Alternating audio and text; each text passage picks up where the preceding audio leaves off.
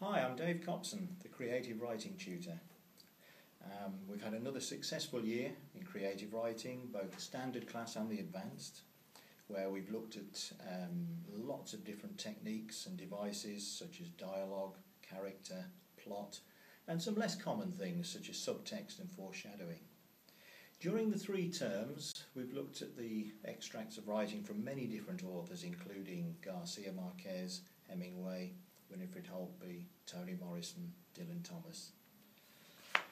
Um, so, what I'm about to say is if you're interested, enrol and look out for the Choice magazine. You'll find the details there. I look forward to seeing you.